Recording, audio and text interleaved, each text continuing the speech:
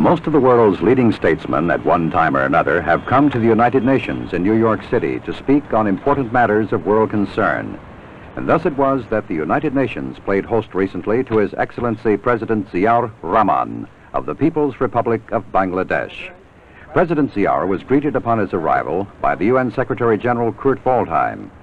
After conferring privately with Waldheim and with the current President of the General Assembly, Salim A. Salim of the Republic of Tanzania, President Ziaur was escorted to the United Nations main hall, where the General Assembly had been called to order specifically to hear the Bangladesh leader.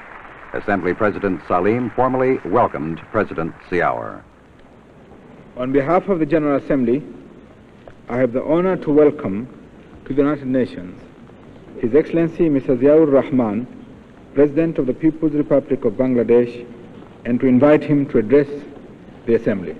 In a hard-hitting speech, President Ziaur said that recent years have seen very little progress towards narrowing down the differences between the rich and the poor. He spoke first in his native Bengali, then spoke in English. Bismillah ar-Rahman rahim Janab Shavapati,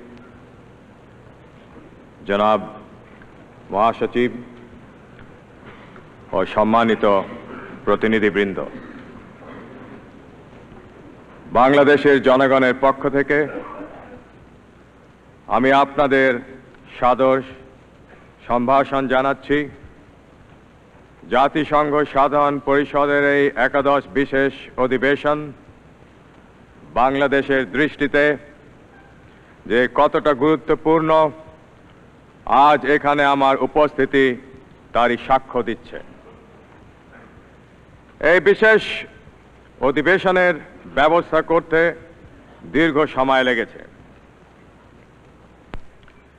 এই জন্য অনেক কষ্ট স্বীকারও করতে হয়েছে। সাধারণ পরিষদের ষষ্ঠ ও সপ্তম বিশেষ অধিবেশনের পরবর্তী বছরগুলোতে একটি নতুন আন্তর্জাতিক অর্থনৈতিক ব্যবস্থা গড়ে তোলার ব্যাপারে বিশেষ কোনো অগ্রগতি হয় নাই। ধনী ও দরিদ্র দেশগুলোর মধ্যেকার। বৈষম্য হ্রাস পাওয়ার বদলে দেখা যাচ্ছে তা বরং বৃদ্ধি পেয়েছে। জাতিসংঘ সনদের আদর্শ এবং মানব অধিকার সংক্রান্ত ঘোষণার প্রতি আমরা সকলেই আনুগত্যশীল। মানুষের মৌলিক দুটি অধিকার, ক্ষুধা ও দারিদ্র থেকে মুক্তিসহ জীবনযাত্রার মান উন্নয়ন, পূর্ণ কর্মসংস্থান এবং অর্থনৈতিক ও সামাজিক উন্নয়ন ও বিকাশের নিশ্চয়তা বিধান করতেও আমরা প্রতিশ্রুতিবদ্ধ। The UN charter and the evolution of the entire UN system are based on the concept of global interdependence and cooperation Why did we opt for global interdependence? What was the rationale behind it? Because we wanted to collectively maintain international peace and security, to build a world ensuring freedom, human dignity, and justice. Because the evolution of international society has made it manifest more than ever before that most problems today are interlinked and global in character, and that there can be no piecemeal solutions to these problems, just as there can be no fragmentation of peace. There can be no fragmentation of the world into segments of rich and poor without a serious threat to peace. If we believe in the community of mankind, we must accept mutual obligations and responsibilities towards that community.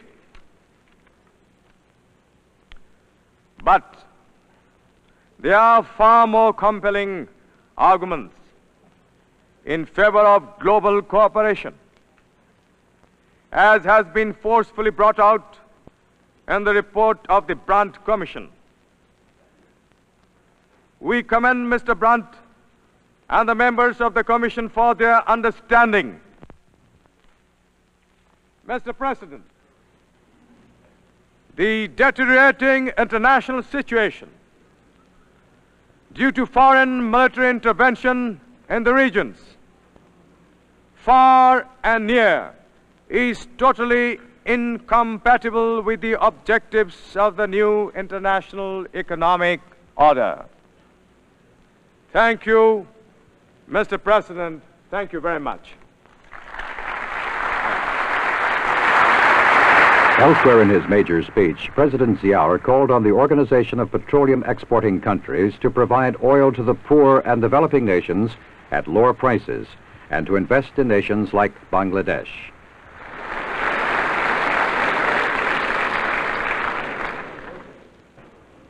Following his address, President Ziaur proceeded to the West Foyer of the United Nations building, there to greet and chat with the heads of delegations to the UN. President Ziaur later was the honored guest at a luncheon hosted by Secretary General Waldheim. There remained one more major event on President Ziaur's UN schedule, a speech to a closed meeting of the Group of 77. Formed 15 years ago, the Group of 77 now numbers more than 100 developing nations, including the 30 least developed countries, as well as the OPEC nations.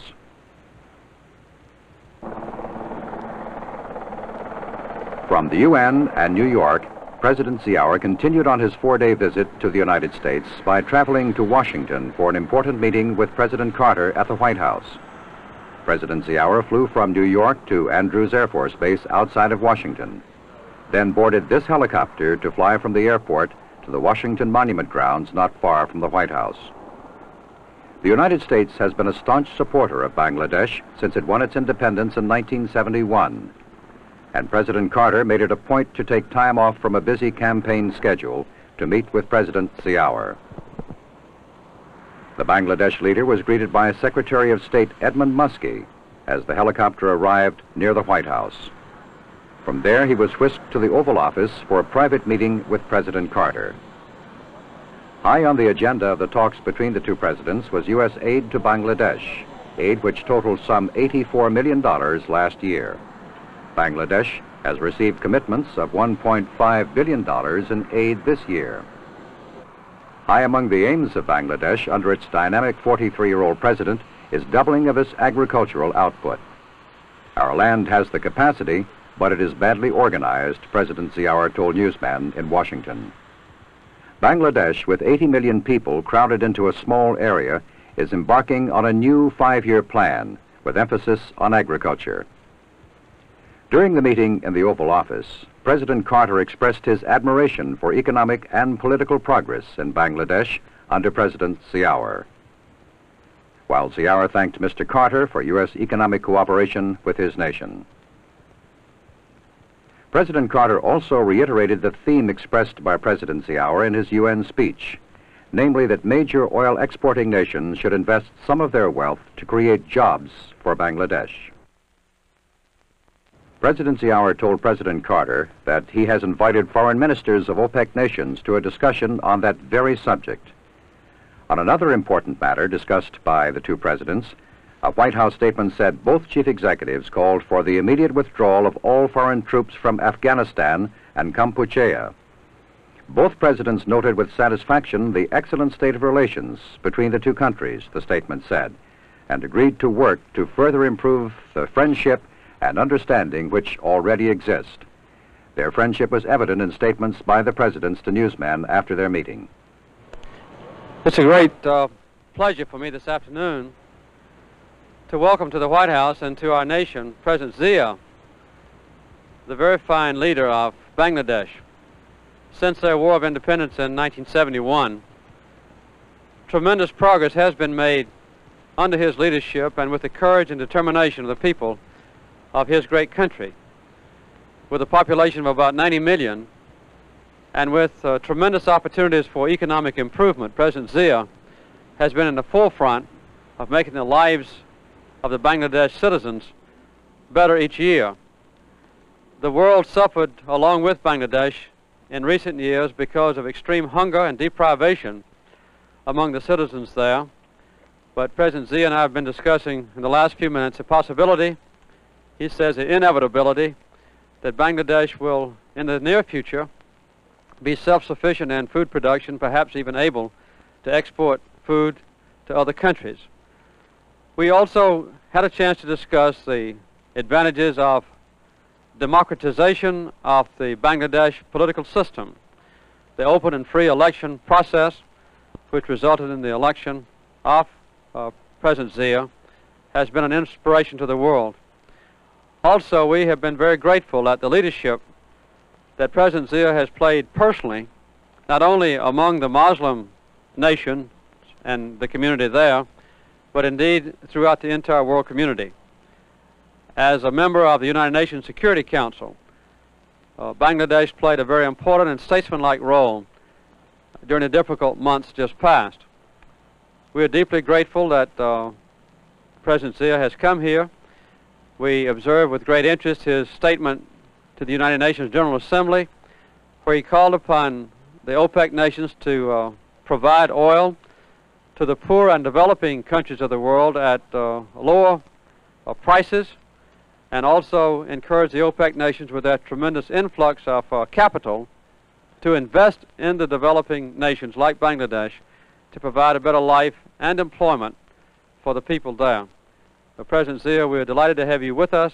It's an honor for our country to have you here, and we uh, share with you the basic principles in a completely compatible way as we face the future together, and I'm very honored that you would come here to pay me this visit. Thank you, Mr. President. Thank you.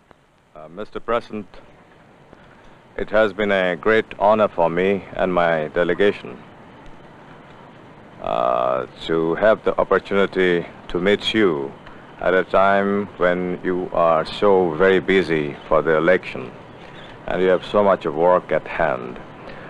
Uh, Mr. President, let me tell you that how grateful the people of our country are to the people of uh, your great country for the uh, moral support that was rendered to us, in fact, support in all possible manner those were rendered to us uh, during our War of Independence in 1971 and the massive economic aid that we received from you, from your great country. Thereafter, to meet the many necessities which otherwise would have, uh, if not met, would have uh, created tremendous problem for us. We are uh, very grateful indeed, uh, Mr. President, uh, for your special interest uh, for the development, the economic development in Bangladesh, for which during your period we have received fullest support, and especially in the food sector, the support that you have given us, I can assure you that our people are grateful to the American people and to you, Mr. President. Uh, and the short meeting that we had a few minutes ago, we had discussed uh, all possible aspects of our relationship, uh, and we discussed uh, some of the important uh, problems facing the world, both economic and political. And uh, I must say how happy I am that in these cases our views are identical. Uh, Mr. President, uh, the uh, important uh, role that your great country has played, the people of the United States and yourself, uh, to uphold uh, the Charter of the United Nations for maintenance of peace and stability in the world is something that we praise you for. And especially your value that you attach to the question of human rights and human dignity is something that we, all of us, the whole world could be proud of. Uh, Mr. President, I wish you success. I wish the American people success and strides in the future. Thank you very much. Thank you, Mr. President. It's been an honor to be with you. Thank